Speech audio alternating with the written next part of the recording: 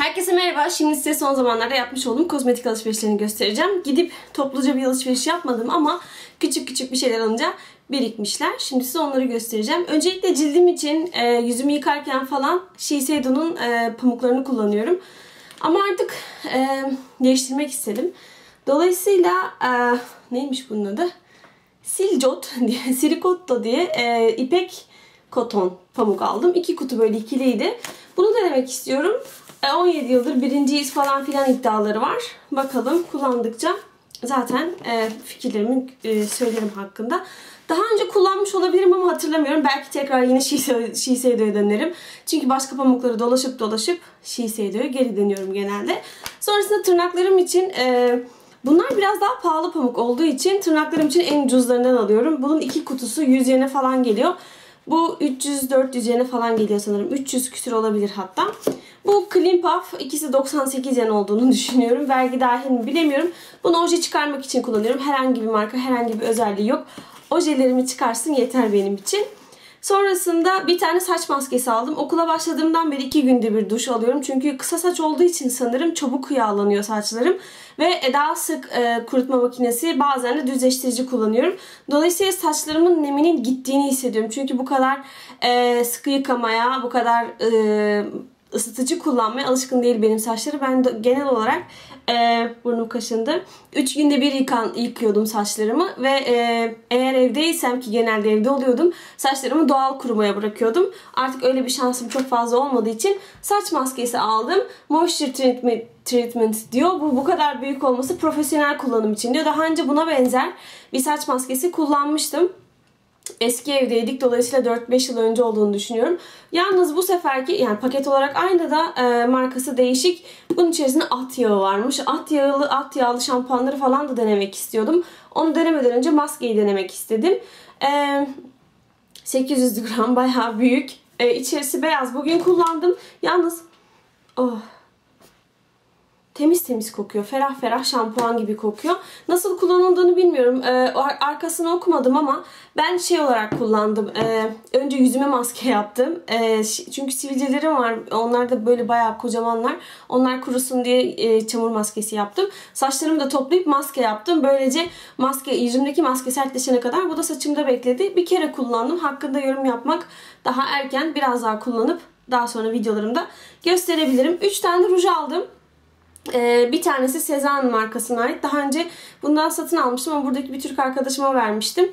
Gidip aynısını aldım. Aynısı değil pardon. Bu sefer 302 numarasını gidip aldım. Ben ve swatchlarım tabii ki olmuyorlar. Bu sefer bu daha pembe tonlarında. Daha önce almış olduğum daha mor tonlarındaydı. Gidip onu da alacağım ama.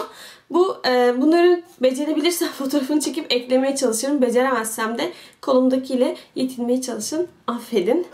Sonrasında Şifro markasına ait iki tane ruj aldım. Öncelikle Şifro markasına gittiğiniz zaman rujları satın aldığınız zaman böyle gidip satın alıyorsunuz. Bunun üzerine bir de plastik kapak var.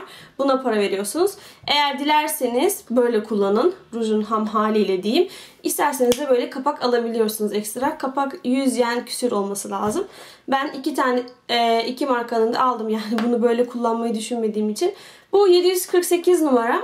Bunu e, bayağı sür, sordular. Hatta bu benim e, çantamdaydı. E, bayağı her gün bunu kullanıyordum. Sonra yenisini aldım. Yenisini kullanmaya başladım. Bu daha böyle mat kahverengi. Bu ara kahverengi ruj modası var biliyorsunuz. E, ben gidip MAC'den e, o kadar para verip çok kullanıp kullanmayacağım emin olmadığım için gidip ucuzundan aldım. Bunu da severek kullanıyorum. Böyle aynalı Instagram profil fotoğrafım olabilir. Aynalı gözlük var ya gözümde o zaman bu ruj, ikinci ruj vardı dudağımda. Sonrasında 2-3 gün önce de gidip yine aynı markaya ait şifre. Bu sefer de 154 numarasını almışım. Bu da e, mav diyorlar herhalde ve gül kurusu tonlarında olabilir. Bu da böyle mat. E, dudağı bu kurutuyor. Diğerinde öyle bir şey hissetmemiştim. Sanki bu biraz kurutuyor. Bilemiyorum tesadüf de olmuş olabilir. Bunları şimdi çantama koyuyorum. Kaybolsa da bozulsa da kullanmasam da çok e, içimi yakmayacak miktarlar olduğu için çok pahalı rujlar satın alamıyorum. Çünkü e, sürekli ruj kullanan biri olmadığım için bunlar iyidir yani. 3 renk ruj aldım. Diğeri de Sezan markasına aitti. Tırnaklarım benim Japonya'da elde bulaşık yıkadığımız için evimizde bulaşık makinesi olmadığı için genelde tırnaklarım kırılıyordu. Ama şu anda annem ve teyzem oldukları için sağ olsunlar onlar bulaşıkları yıkıyorlar. Ya o sebepten ya da bilmiyorum tırnaklarım kırılmasın diye tırnak sertleştirici aldım. Koji markasına ait. Nail Protection diyor. Nailist markasına da ait. Bunu tekrar sizin için paketini tutuyorum. Eee güzel olduğunu düşünüyorum. Tırnaklarım e, uzadılar yani. e, hem bulaşık yıkamayıp hem de böyle ürünler kullandığım için sanırım. Gerçi daha iki kere kullandım. Tırnak sertleştirici ama beğendim yani. Çünkü bazıları etkilerini göstermiyor biliyorsunuz. Sonrasında Ducado Japonya'da çok meşhur tırnak ürünleri e, markası. Bilemiyorum e, başka ülkelerde var mı? Bunun böyle normalde ürünleri pahalı oluyor. Bunu böyle ikili set 600 yen yapmışlar. Ben de almak istedim. Açamıyorum şu anda makas da yok. Ve tırnaklarımla iş yap, tırnaklarınızın kırılmasını istemiyorsanız tırnaklarınızla çok fazla iş yapmayın. Okulda falan teneke kahve falan aldığım zaman e, yanımda kim varsa onu açtırıyorum. Çünkü yoksa tırnaklarım teneke kutu açınca kırılıyor yani. O yüzden artık öyle şeyler yapmıyorum. İki tane ürün çıkıyor içerisinden. Bir tanesi küçükül e, remover temizleyici. Bunu kullanmadım. Aslında bugün kullanabilirdim hoca sürmeden önce ama e, deneyeceğim. Bunu da denedikten sonra zaten videolarımda görebilirsiniz. Hop. Diğeri de jel top coat. Jel top coat almak istedim aslında. E, böyle parlak görünümde olsun diye. E, bunun için onu da aldım. İkisini e, tek normalde tek almaya kalksam ikisinin tekinden daha ucuz fiyata aldım. Yani bu paketi yapmaları iyi olmuş. Böylece deneyebileceğim. Sonrasında yaz geliyor malum. Bunu okul çantama atacağım. Ban markasına ait Nanoyan Shower Sheet diye. Japonya'da bu ürünleri çok seviyorum. Ee, daha önceki alışverişlerinde falan görmüşsünüzdür. Bu 30'lusu çıkmış yeni. Ee, bunlar yazın olmazsa olmaz. Japonya çok nemli bir ülke. Renge bakar mısınız paketin? Bayıldım. Of çok güzel. Ee, bunlar ıslak mendil gibi ama ter mendili de diyebilirim aslında. Bunu mesela terlediğiniz zaman üzerine bir deodorant ya da bir şey sıktığınızda o kokuyu e, kokuyu almadan sadece üzerini bastırmış ve daha kokuya daha kötü bir kokuya sebep olabiliyorsunuz. Bunlarda ise kendinden kokulu mendiller bunlar. Daha önceki videolarımda da göstermiştim eğer denk geldiyseniz. Aynı böyle ıslak mendil gibi ama bunda böyle kolunuzu ter, koltuk altınızı ya da boynunuzu terleyen yerlerinizi sildiğiniz zaman şu rujları da çıkarayım. Ee, böyle pudralı bir bitişi var. Ve teninizden teri, terin sebep olduğu kötü kokuyu alıyor. Pudralı bitişli böyle ama böyle kuru kuru böyle nasıl diyeyim ya. Pudralı bir bitişi var ve e, sizi terden, kötü kokudan ve ferahlatıyor, kurtarıyor ve ferahlatıyor. Dolayısıyla okula gider gelirken sırt çantasında çok terleyeceğimden emin olduğum için e, bunu çantama atacağım. Ben e, hangi kokulu almışım? Şeydi bu. Shava Shito. Sekken Kavri. Ben e, sabun kokulusunu aldım. Valla sabundan daha parfümlü kokuyor ama e, bu çok kalıcı değil. Üzerinizdeki parfümü falan bastırmaz. Bunun üzerinize parfümde sıkabilirsiniz. Bunu aldım. Daha önce Ban'ın böyle sprey versiyonu falan kullanmıştım. Genelde Biore'nin bu e, mendil versiyonlarını kullanıyordum. Bunu da severek kullanacağımdan eminim. Madem güzel kokulardan e, kokulara geldi sıra. Bir parfüm hastası olduğumu biliyorsunuz. Yoshi'nin iş yerinde elemanlara özel, çalışanlara özel bir internet sitesi var.